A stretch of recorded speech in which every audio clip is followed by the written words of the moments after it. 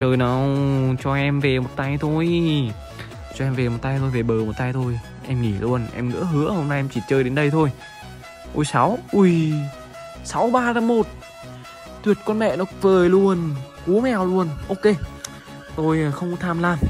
Tôi cảm ơn trời, cảm ơn đất đã trả tôi cái tay này. Tôi xin phép nghỉ ở đây nhé Mặc dù là cái video này là ăn được có bốn củ. Nhưng mà thôi, tôi cũng xin phép ngừng thôi Chia sẻ cho anh em như thế là anh em biết mà né. Ok gặp cầu ờ, mặc dù đánh thế nào thì cũng phải biết điểm dừng nhá. Đừng có chơi nữa nhá. Ok bye bye anh em. Cảm ơn em xem nhá. Bye bye.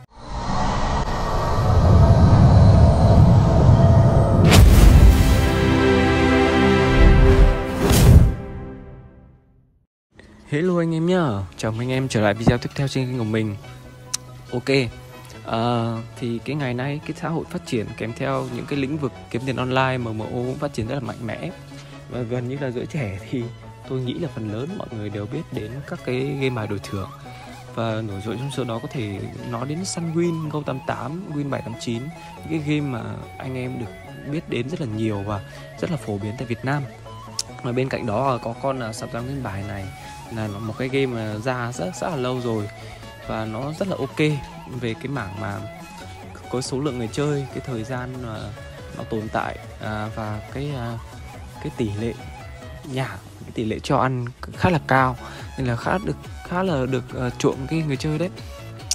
Thì vẫn là cái lật bài à, vẫn là tài xỉu thôi thì hôm nay tôi sẽ tập trung hướng dẫn cho anh em những cái cách bắt cầu và những cái cách mà chơi thế nào cho an toàn nhất để uh, không bị ra đảo nhé đấy trước tiên là cứ không bị ra đảo rồi ăn thì mình lại tính sau đúng không? Trước tiên là mình nhìn, nhìn mình sẽ so sánh các cái hình bi nhé thì nó sẽ có ba viên bi một viên đỏ viên uh, tím và viên uh, viên xanh. Thì anh em sẽ cùng đối chiếu ra cái lượt gần nhất nó vừa ra viên bi là cái lượt nào. Và anh em sẽ cùng xem đối chiếu lại cái khoảng từ trước ấy cái lúc nào mà nó ra cái viên bi đấy.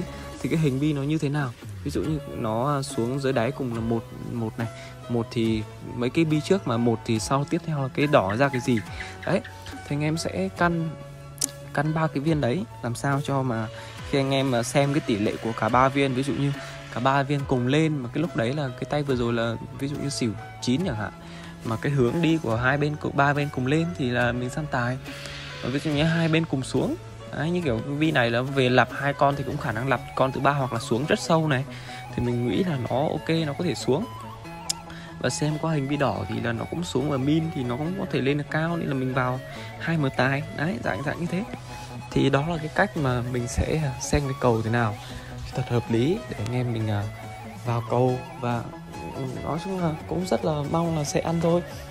Thì à, nói chung là cái cách này thì tỷ lệ không không đến được ờ, một trăm phần trăm đâu. Nó chỉ tầm 60 đến 70 phần trăm thôi. Nhưng mà khi mà anh em chơi nhiều ấy, anh em ổn định ấy, thì anh em cứ thế mà theo. Đấy, đến khi mà xịt thì anh em cứ đánh lại như thế. Đấy xịt thì cứ đánh như thế. Là kiểu gì nó cũng về bờ à ok chưa? Đấy tiếp tục là mình xem hình bi này. Cái bi này thì rà xuống thấy nó đi xuống nè. Còn bi này thì rà lại thấy đi lên nè là cùng xem một cái bi bên bi tím này như thế nào nè. Đấy, mình thấy bên bi tím này có vẻ khá xuống khá sâu nè. Là mình vào là một củ chín dạng dạng như thế.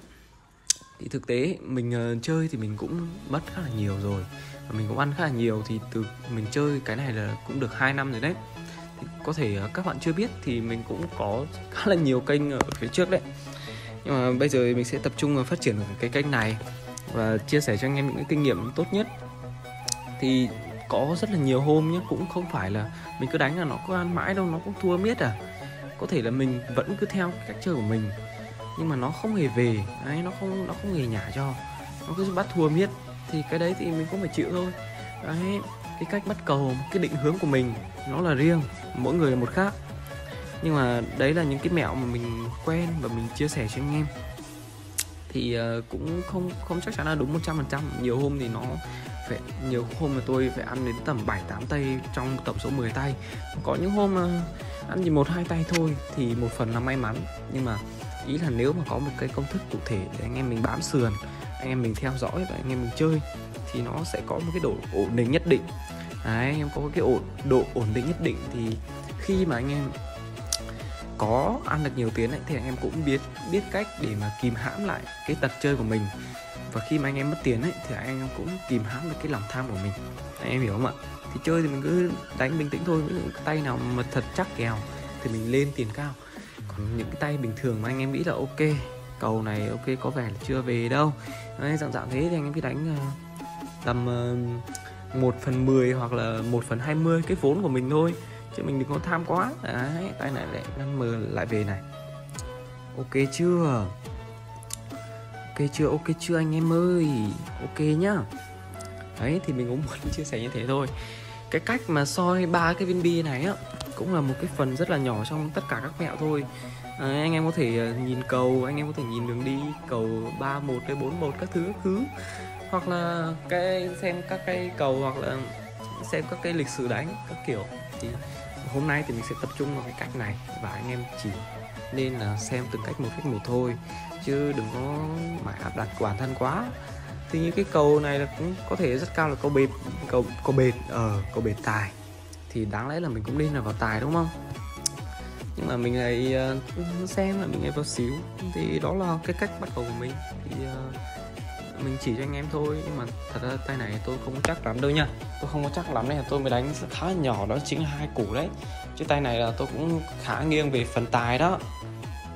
Nào rồi 63 này thì tài tài chắc rồi. Đấy, còn đúng cái nịt luôn. Ok mình vẫn ờ, sẽ tiếp tục thôi. Vẫn sẽ tiếp tục cái cách coi của mình thôi. Và mình tiếp tục đánh thôi. Nào, đảo qua cái cầu nào.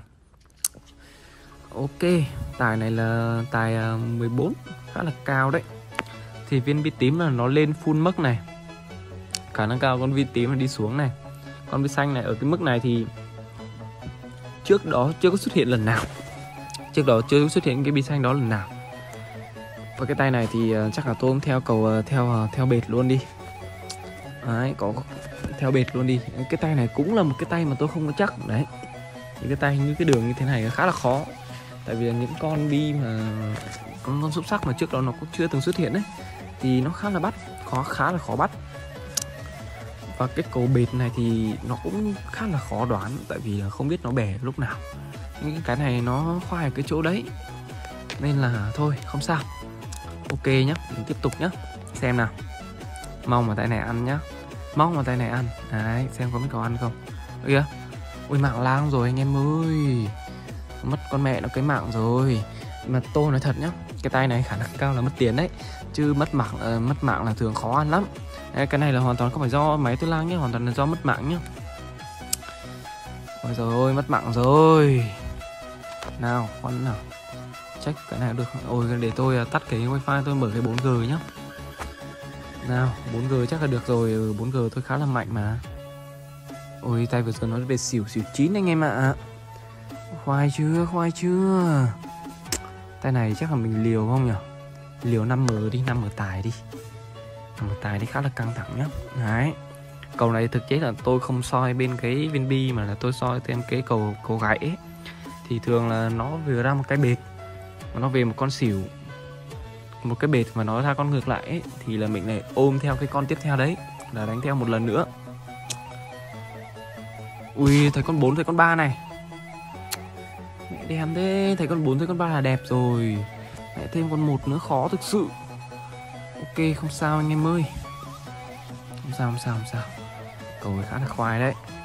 Nào tay này chắc là tôi cũng vào mà 10 củ luôn cái cầu này thì lên xỉu được một tay nữa. Nhưng mà vẫn hơi băng khoai em ạ.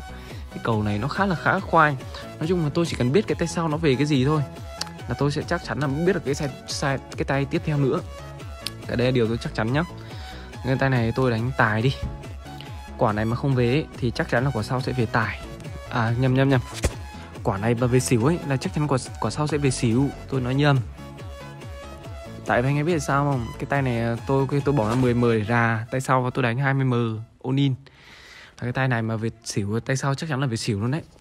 Là cái cầu này nó sẽ nó sẽ không không kiểu bệt bệt bệt dở dở tầm ba con xỉu đâu.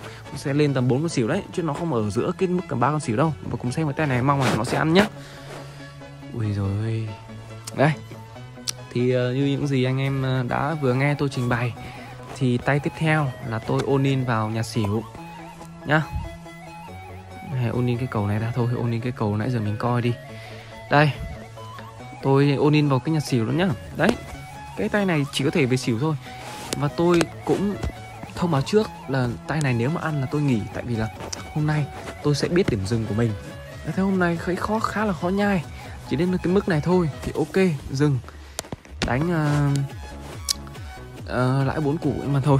Cứ cứ cầu nguyện tay này không ra đảo cái đã rồi làm gì thì làm. Nói chung mà tôi bảo với anh em là thánh uh, ờ, chắc chắn là về xỉu nhưng mà thực chất là thân tôm tôi là vẫn lo phết đấy. Tôi vẫn rung phết đấy. Mẹ cầu mong cầu đất cầu thật cái đất của trời nào cho em về một tay thôi. Cho em về một tay thôi về bờ một tay thôi. Em nghỉ luôn em nữa hứa hôm nay em chỉ chơi đến đây thôi. Ui sáu ui sáu ba ra một. Tuyệt con mẹ nó vời luôn cú mèo luôn. Ok tôi không tham lam. Tôi cảm ơn trời, cảm ơn đất đã trả tôi cái tay này. Tôi xin phép nghỉ ở đây nhé. Mặc dù là cái video này là ăn được có bốn củ, nhưng mà thôi, tôi cũng xin phép ngừng thôi, chia sẻ cho anh em như thế. Là anh em biết mà né, ok, gặp cầu ờ, mặc dù đánh thế nào thì cũng phải biết điểm dừng nhá. Đừng có chơi nữa nhá. Ok, bye bye anh em. Cảm ơn em xem nhá. Bye bye.